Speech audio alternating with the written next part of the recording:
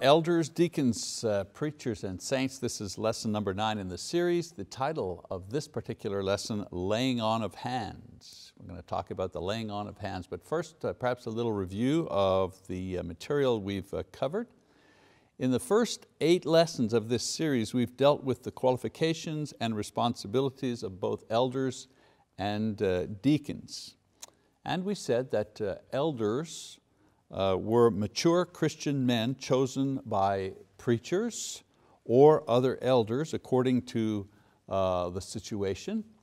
Uh, and they were chosen based on specific qualifications um, that are outlined in the Bible, in the New Testament. And uh, their task was to provide leadership uh, for the church through their teaching, through their prayer life example, and their uh, shepherding of, the, of the flock and all of that and all of uh, what entails in shepherding the flock. And then we said that deacons were Christian men, mature in the faith, uh, chosen by the congregation and from the congregation according to, again, certain qualifications found in the New Testament and confirmed by the elders to carry out certain tasks. Now we dealt with two main controversial issues concerning elders and deacons. I'm sure there are perhaps more questions and more issues, but the two that always come up when we, you know, when we talk about uh, selection process and uh, uh, you know, getting new elders or getting new deacons. First of all, the passage uh, where the list of qualifications are that says uh, he must be the husband of one wife. And that has been interpreted to mean a lot of different things, and I'm not going to go over all of that, we did that in the previous lesson. Uh, but a man who has only been married once in his life, uh, that particular interpretation of husband of one wife is certainly correct. There may be other ways of looking at that and there's biblical evidence to support other ways of looking at that, but if we select a man who has only been married to one woman his entire life. He's not a widower, he's not a divorcee, he's, uh, uh, um, he's uh, presently married to the uh, only woman that he's ever been married to. Um, selecting an elder that has that qualification certainly fulfills the biblical uh, mandate uh, concerning that situation in his life. And certainly he'd be biblically qualified. And then the other um, uh, the other controversy, if you wish, when we talk about elders and deacons concerns the deacons, uh, that there is some evidence to suggest that there may have been women who served as deacons. Uh, however, the majority of the clear evidence in the Bible supports the, uh, uh, the teaching that only men were appointed as deacons and we are once again biblically correct to select only men for this role in the church. And I, I, I want to underline one important idea. If the only information, if the only evidence, if the only teaching that we look at to resolve this issue, you know, deacons, deaconesses, you know, if all we look at is the Bible, then there is you know, there's nothing to support uh, the idea that women um, should serve as deaconesses in, the church. And there's overwhelming evidence that only men served in this role in the early church. As far as teaching and context and so on and so forth, it supports the idea that uh, men um, uh, serve as deacons. Again, we went all over that in a little more depth in a few lessons, uh, uh in lessons, previous lessons. Now, I didn't mean to say, uh, I'd like to say one other thing about that. I, I didn't mean to say that those who see these two issues in other ways, you know, are heretics or they're going to hell. Uh, you know, I'm not condemning people who have another uh, opinion about this because in our brotherhoods, some people have different opinions of this. What I am saying is that after weighing the evidence and carefully considering the teachings that are found in the Bible, as a Bible teacher, I felt that the prudent and biblical and most edifying interpretation was the one put forth last week and the one that should guide us in our selection process in the future. Okay, Well, in today's lesson, I'd like to talk about the selection process and provide some information about the New Testament practice of laying on of hands. Another idea here sometimes we're not quite clear on, I'd like to clarify that. Um, uh, certainly it was something that was done in the selection process uh, as we see it unfold in the Bible. So I, I'd like to kind of shed a little bit of light on that. Now in the Bible, hands, especially the right hand, uh, in Hebrew thought had great meaning. Uh, the right hand symbolized power and authority. You know, sit at my right hand, you know, that's power and authority. You, you, you carry the sword uh, in your right hand. And so the image of hands was often used to signify various ideas in the Bible. For example, uh, the dropping of hands was used as a sign of weakness or, or lack of resolution. And to hold up the hands was the remedy for that particular uh, problem. We read in Exodus chapter 17, uh, beginning in verse 10, the following. It says, um, let's see, Joshua did as Moses uh, told him and fought against Amalek. And Moses, Aaron, and Hur went up to the top of the hill. So it came about when Moses held his hand up that Israel prevailed. And when he let his hand down, Amalek prevailed. But Moses' hands were heavy. Then they took a stone and put it under him, and he sat on it. And Aaron and Hur supported his hands, one on one side and one on the other. Thus his hands were steady until the sun set. So Joshua overwhelmed Amalek and his people with the edge of the sword. So we see there you know, the raising of a hand, uh, success, strength, the dropping of the hands, um, uh, signifying uh, defeat, weakness, so on and so forth. Uh, another image is lifting up hands, either lifting up the hands either signifies some sort of violence or supplication in prayer uh, depending on the context. So the imagery of lifting up, he lifted up his hands could be you know, aggression or it could be lifting up the hands in praise and prayer. Another interesting one is placing the hand under the thigh. So one person places their hand under the thigh of another uh, person um, as a way to ratify an agreement. Uh, Abraham's servant, for example, uh, was asked to do this as a promise, as a confirmation to um, Abraham that he would find uh, Isaac a wife from Abraham's own people.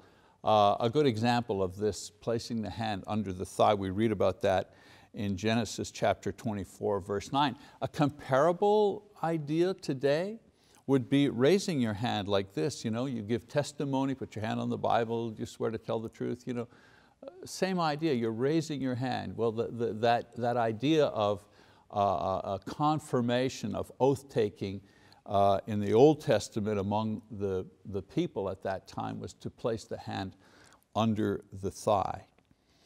Another uh, image uh, in the Old Testament, obviously all the ones that I've spoken about so far in the Old Testament, is the washing of hands. The washing of hands to signify innocence and purity. Uh, Deuteronomy chapter 21, verse 6. Uh, another example of hand imagery is uh, the idea of transfer. Sometimes both hands were used or laid upon something or someone else to signify a transfer from one to another. For example, Jacob transferring a blessing on his sons, laying hands on them to, to give them a blessing Genesis 48. Uh, the Levites were ordained as representatives of the people before God. And how did they do that? Well, they placed the hands of the people upon them. The people transferred themselves to the Levites by laying on of hands. Uh, Numbers chapter 8, verse 10. And then uh, in the same vein in the Old Testament, the, the worshipers would place hands on an animal uh, to be offered as a guilt sacrifice, signifying that they were transferring their guilt to the animal and then the animal's death would be a way of carrying the guilt away. uh, Leviticus chapter uh, 1 verse 4. So a lot of imagery in the Old Testament concerning the hands, uh, very, very uh, uh, specific ways, using the hands uh, to convey uh, confirmation, transfer, violence, strength, and so on and so forth. So by the time of the New Testament, the symbolism of the hand, and especially the laying on of hands, was a well-established idea. So Jesus used this gesture, and so did the apostles in special situations and uh, with various meanings. For example, um, healing. Uh, Jesus laid hands on people to heal them, Mark chapter 6, verse 5, for example.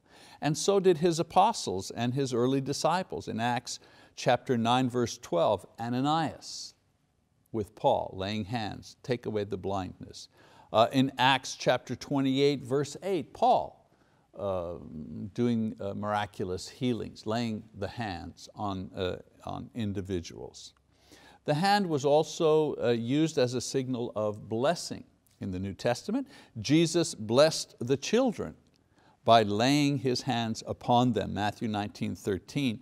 Interesting thing, however, we don't see uh, this practice carried on by the apostles or the disciples. So this was significant in the, in the sense that we only see Jesus giving that uh, blessing by laying on of, of hands, by, by touching. Uh, another one is praying, of course. The Jewish custom was to raise one's hands in prayer, and it seemed that this gesture was still being practiced by Christians because Paul refers to it in 1 Timothy chapter 2, verse 8. So we even see that today, don't we? Even the Jews today continue to pray uh, in that way. Uh, then in the service of miracles, if you wish, in the book of Acts, we see the apostles laying their hands on different disciples in order to give them the ability to do various miracles, uh, speaking in tongues, uh, healings, so on and so forth. Now sometimes this ability, the ability to perform miracles, okay, sometimes this ability was conferred without the laying on of hands uh, by anyone, whether it be uh, uh, an apostle or anyone else. All of a sudden that person had that power. Not many, you know, the apostles, they received you know, the empowering of the Spirit to, to do miracles. No one laid hands on them. And then Cornelius, right, in the middle of, uh, of Peter's uh, speech, if you wish, he, uh, we see Cornelius, his household, begin to speak in tongues and so on and so forth. Um, and Peter even refers to the idea that they received the Spirit in the same way that we did. What's that? Well, without any human intervention, God simply empowered them.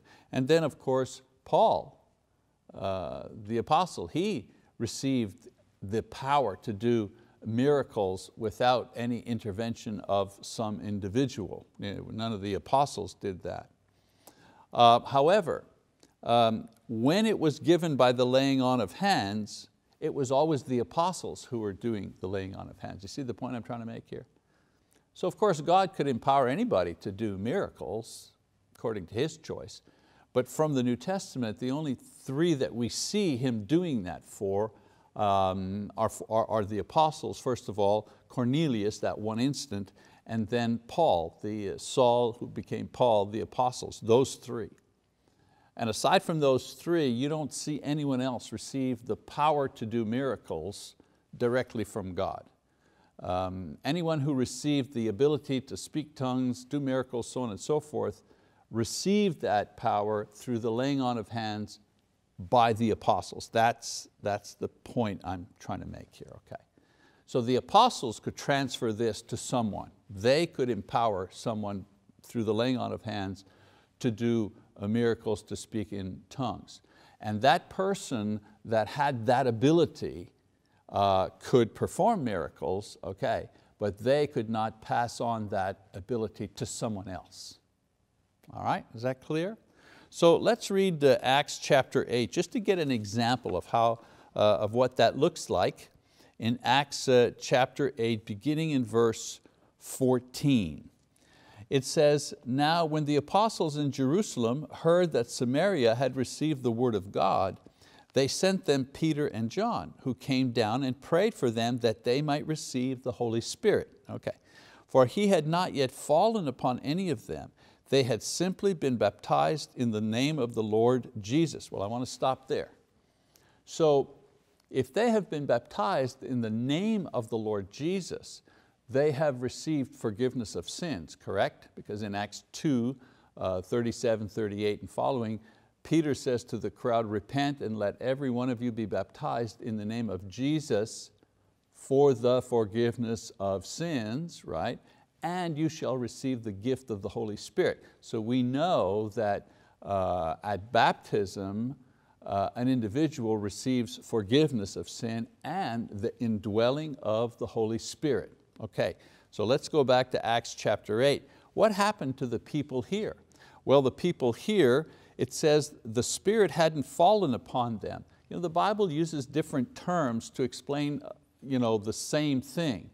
Um, that the Spirit falls on them means they hadn't been empowered yet. Okay? They hadn't received the ability to do uh, miraculous things, whether it was speaking in tongues or interpreting or healing and so on and so on. None of them had received that power. We know that they had received the indwelling of the Holy Spirit. Why? Because it says they had been baptized in the name of the Lord Jesus. So they're saved, they have forgiveness of sins, they have the indwelling of the Holy Spirit, and we know the indwelling of the Holy Spirit, uh, among other things, is the thing that guarantees your resurrection, because Paul says in Romans 8, if the Spirit that raised Jesus Christ from the dead dwells in you, the spirit that, rose, uh, you know, that resurrected him from the dead will also resurrect you from the dead. So you know, why is it important to have the Holy Spirit? Because in the end, it's through the power of the Holy Spirit that we're risen from the dead. Okay, so these people here, if you're following my line, they had been baptized, therefore they had the forgiveness of sins and also the indwelling of the Holy Spirit. But then in verse 17, watch what it says. It says, then they, meaning the apostles, began laying their hands on them and they were receiving the Holy Spirit. Okay? So what does that mean? They already had the indwelling of the Holy Spirit. What does it mean now they were receiving the Holy Spirit? Again, remember the Bible describes sometimes the very same phenomenon in different ways. We know they had the indwelling of the Spirit because you received that at baptism. So what's the difference between the indwelling of the Spirit and receiving the Spirit that Paul is talking about, excuse me, that uh, Luke is talking about here? Well, the answer is in verse 18. Uh, and it's given by the witness of Simon. It says, now when Simon saw that the Spirit was bestowed through the laying on of the apostles' hand, he offered them money, saying, give me this authority, or give this authority to me as well, so that everyone on whom I lay my hands may receive the Holy Spirit. So what was happening? Well, it says Simon could see the Spirit. Well, what could he see? You can't, you can't with your eyes see the indwelling of the Holy Spirit. So what could he see? Well, he saw that those upon whom the apostles laid their hands after they had been baptized, received the power of the Holy Spirit, the empowering of the Holy Spirit. What Simon was seeing were the works. He saw these people after the apostles laid hands on them, he saw them begin to speak in tongues and do other miraculous things. And he said, wow, I want that power too. Give me the power so you know, whoever I lay my hands on, they can, you know, they can perform these they can perform these miracles. So, in other words, just to kind of summarize this, you could receive the ability to do miracles directly from God, as the apostles and Cornelius and Paul did, or you could receive the power to do miracles through the laying on of the hands of the apostles. But if you were not an apostle, you could not transfer this to someone else. Okay, so it's important to uh, remember that. So after the apostles um, uh, died, of course, uh, historically, there's you know, a lot less recording or observation of miracles being performed. Why? Because the people that they had given that power to, eventually they died off and they were not able to kind of keep it going, if you wish. So you see the apostles dying off and then slowly but surely you see this, the extinguishing of, uh, uh of examples of individuals performing, uh, performing miracles. Okay? And the reason for that is the conduit or the mediator uh, that God used to empower the church to do these special miracles were the apostles. And once the apostles died off, well, the method that God had chosen for that particular task um, died with them. All right, so a little bit of background about the indwelling of the Holy Spirit we receive at baptism, the empowering of the Spirit received either from God directly or through the laying on of hands of the apostles. When the apostles eventually died, so died with them the empowering ability to give that gift to individuals in the church. And of course we can say that the reason why they had the power to do miracles is because they had not yet received the full revelation of the word. Uh, the Bible had not yet been all written, all collected, uh, and uh, distributed throughout the uh, churches. And so individuals who did miracles uh, as a witness uh, to the veracity of what they were preaching. In other words, why should we believe what you're saying, Paul? Well, when Paul does a miracle, they say, oh, okay, well that's, that's proof that what you're saying is true. Eventually, we, we have everything. We, we received everything. A few centuries later, uh, the entire record of the New Testament uh, along with the Old Testament was available to people and it served as the witness, if you wish, uh, to um, support the preaching uh, of the gospel. Okay, so I, I, want to get back to our laying on of hands. We, we talked about the laying on of hands here uh, done by the apostles in order to transfer various gifts. Another uh, instance in the New Testament is for, uh, of laying on of hands is for ordination purposes. The term ordination simply means to appoint or to make stand, and it's used in the New Testament to describe a situation where one person is appointed to a role or a task.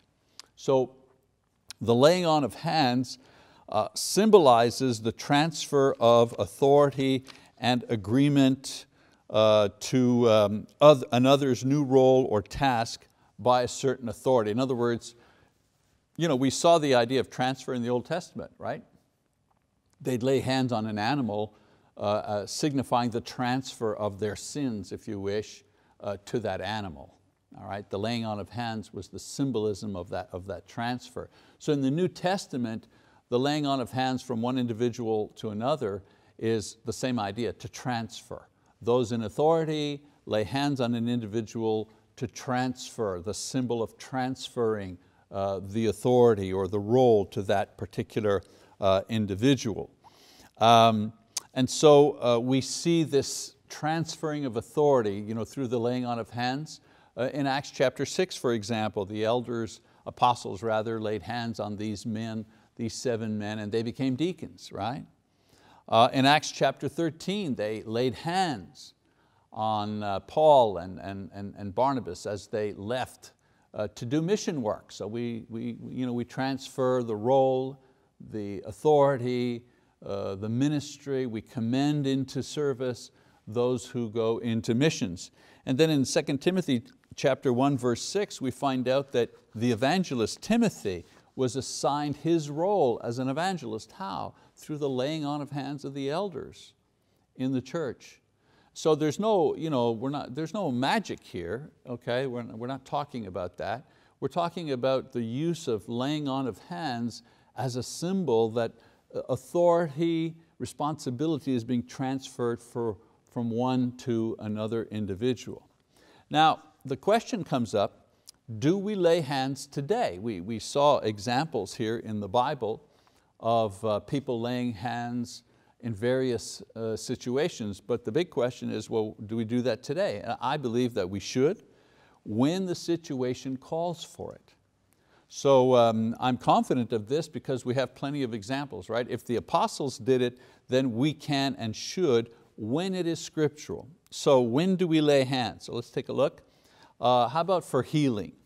Well, we no longer have the miraculous powers to heal and so we don't lay hands symbolically uh, to demonstrate this. Certainly in visiting someone who is ill, the idea of touching or hugging to encourage, to show affection, but uh, if I touch someone or shake their hand or give them a hug, I'm transferring my affection, I'm demonstrating my affection to them as a brother or sister in Christ, uh, but not any, you know, I have no power to heal anyone. So we don't use that uh, uh you know, in, the, in, the, in the context of healing someone.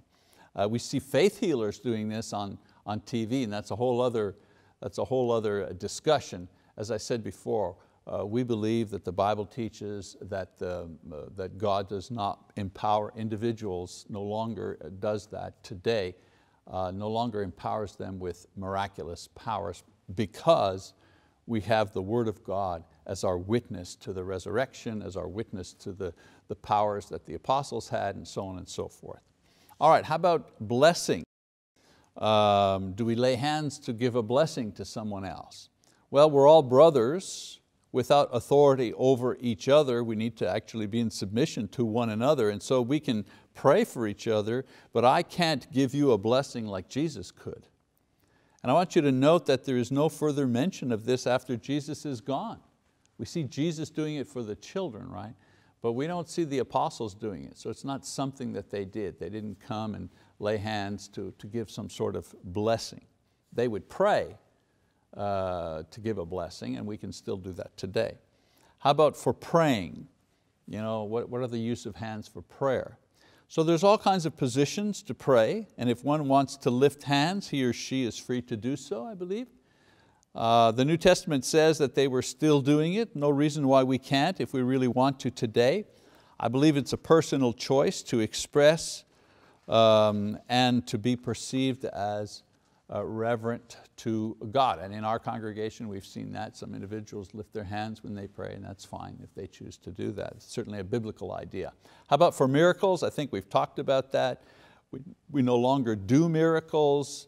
Uh, we don't have that empowerment anymore, and so we can no longer transfer this power as, as well. Can't do that. And then there's the idea of ordination. So we still do that, however. We still you know, commend and appoint men uh, to preach. We still select men from the congregations to be deacons. Uh, we certainly have individuals that go on mission trips and so on and so forth. So I think we can and we should use this symbol to signify our approval and our appointment of people into ministry. And we've done it in the past, right? When elders uh, are appointed or when deacons are appointed, you know, the elders go and they lay hands on them and someone offers a prayer, someone leaves on a mission trip, the huddle, the laying on of hands to the church, the praying. So we continue to do this to symbolize that these individuals or this person has been commended officially by the church into this particular service. Okay, so that gives you some of the background information as to why we have continued to do this type of thing uh, here in Choctaw. Now, uh, just on a kind of a personal note, you probably have noticed that uh, we're always trying to make an effort to progress, to have progress here in the church, to grow the church. Uh, we want to create an environment for growth. You know, we know that God causes the growth, right? God causes the growth. But we are the ones responsible for creating the environment for growth by developing each area of ministry. So we want each area of ministry, evangelism ministry and education ministry, fellowship ministry, the worship ministry, service ministry, those five biblical ministries. Lots of people are working in those areas, trying to grow those areas in order to contribute to the overall growth of the church. You know, we plant and we water and God does cause the growth, that's a promise. But there is no growth without watering, you know, we got to plant and water. If we don't do that part, then God will not cause growth because you know, there's no seed being planted. So in this effort at progress, we want to become a church that first of all uses you know, the latest and the best technology to preach the gospel and to spread the word of God as far as we can, far away, uh, and as many uh, places. You know, aside from the missionaries we actually support who are on the ground, uh, who are talking and preaching and teaching people face to face, we also use the internet with our Bible Talk uh, ministry. Uh, we reach thousands and thousands of people who hear God's word, who receive the teachings, and they themselves pass it on and use our resources to teach others. So we, uh, we um, feel that progress in this area requires us to expand the reach of our uh, evangelism and um, proclamation of God's word to more and more people uh, beyond uh, just the, uh, our own community. Uh, we also um, are, a church, um, uh, church that has a, a worship place, a meeting place that is cheerful and convenient and able to handle a good crowd, you know, where it's easy to hear and see and participate in, in worship. I know that we're the church, right? The people, we're the church. The building is just the building. But if it's, you know, if it's 20 degrees uh, outside and it's cold and there's no heat in the building and so it's only 38 degrees in the building and, and, and it's very dark and you know, I mean, yeah, we are the church, but it's going to be hard to worship, right? We need light, we need heat and so on and so forth in order to kind of you know, blot those type of things out of our minds so we can focus on the matter at hand. So, so part of progress, okay, is to make sure that that environment is stable and comfortable so that we can focus on uh, uh, the worship that we want to offer to God in a decent and in an orderly, uh, orderly fashion. Also, growth requires a, a program where we're teaching. Jesus said, teaching them all that I have commanded you. So we have a command not only to go out and proclaim, but we also have a command from Jesus Himself to teach. And so an education program that can serve children as well as adults in the study of God's word and provide ample opportunities for spiritual growth and spiritual development. A lot of work goes into the program of teaching children, you know, right from babies in cradle roll all the way through middle school and high school. We have a youth and family minister that designs a program specifically tailored for that age group. Uh, and then of course our adult uh, teaching, uh, Bible teaching uh, program. Um, our way of fulfilling that command, teaching the church all the things that Jesus has commanded us, has given us to, to know. And of course, a successful program can't be successful uh, without participation. So we're always encouraging uh, people to participate, to make the effort to participate in our Bible classes. And then of course, growing churches have an efficient and well-trained staff that can manage church affairs and minister to the congregation in a loving and in an effective way. And I think that, I think that happens here, right? When you call, uh, uh certainly Celestia, what a great job that she does uh, in uh, serving the needs of the congregation, always uh, pleasant, always ready to uh, assist those who call. Sarah, of course, the bookkeeping, all the questions about the, the finances of the church and you know, the business side of the, of the congregation. So a well, a well maintained staff, Gail and Gloria and others you know, that maintain uh, the building, you know, they're little things, but they're important things, right? Someone has to show up very early on Sunday morning or on Saturday to prepare the communion that we will share on Sunday. Again, it doesn't just prepare itself, right? So there's three, 400 people get together, all of them are having communion. That has to be prepared and ready uh, in advance. All these little details that work together. A growing church has individuals involved at every level of service to make sure that the whole progresses uh, properly. So this is the kind of progress that the changes that we make represent. However, I also want to finish up my lesson this morning um, by talking about some of the things that won't change and must not change uh, whenever you know, a church is going through progress as, as we are. First of all, the Bible is God's only and complete revelation to man. Now, we may put the Bible on the computer or on television, but it will always remain the inspired word of God. That's not going to change. See, some things change, how we proclaim it, how we distribute it, and how we show it, you know, that, that changes. But what doesn't change is our teaching and our belief that the Bible is God's complete inspired word, complete in the sense that we don't need any other information from any other book to understand how to please God, how to serve God, and so on and so forth. That's not going to change. Um, uh, the building may change. You know, uh, we, we want to do some expansion in certain areas. Elders change, we know that. We've, we've added some, some have retired. De uh, deacons change, ministers change. But this congregation is dedicated to being a New Testament church.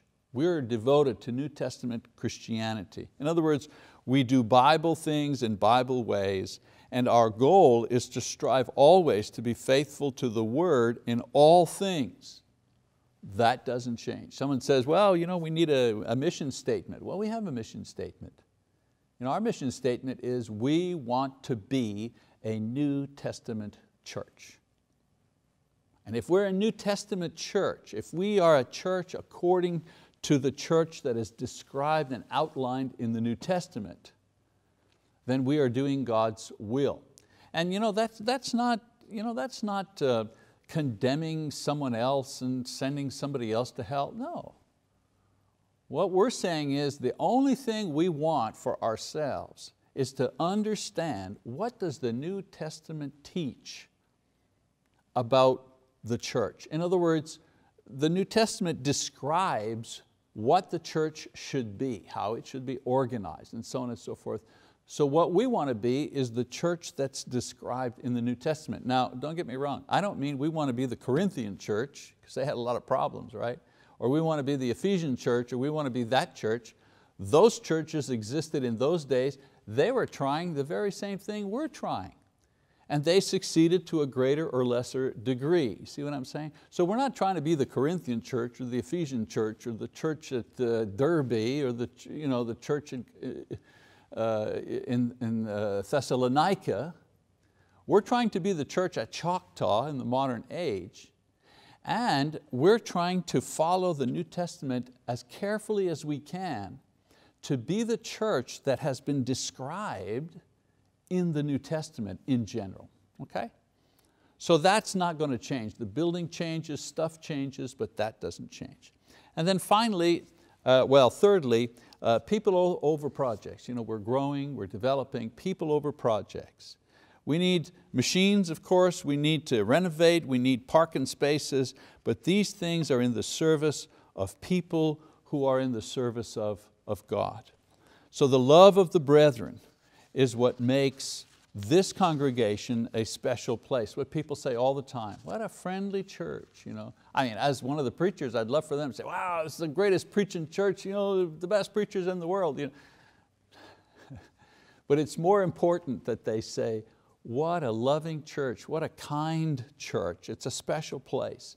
So the projects and the events and the changes to the building and new deacons or elders or ministers, whatever, these are things that are done to help maintain that environment, that environment of love and care that, that members have for one another and hopefully, hopefully, that love and care and welcome that they have for people who visit for newcomers, for people who are just beginning their walk in Christ. Very, very important. And I think I, I can easily and confidently speak for uh, Marty and for Mike Coghill uh, when I say that our goal as ministers is to try to maintain that environment of Christian love and Christian service. And then finally, of course, we're interested in souls.